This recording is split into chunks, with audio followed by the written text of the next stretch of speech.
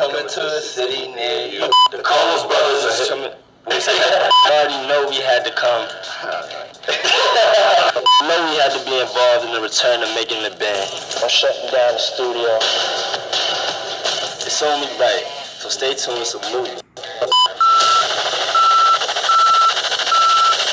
We're not settling for just anybody. If you feel like you got what it takes to compete in today's industry, y'all know how our pops does it. You sold 500,000 records. That's not hot. You can't really make oatmeal or tea with that. Fish grease. Now that's hot. So we expect nothing but the best Bring your A game. showing up. I need somebody that's Yeah. confident.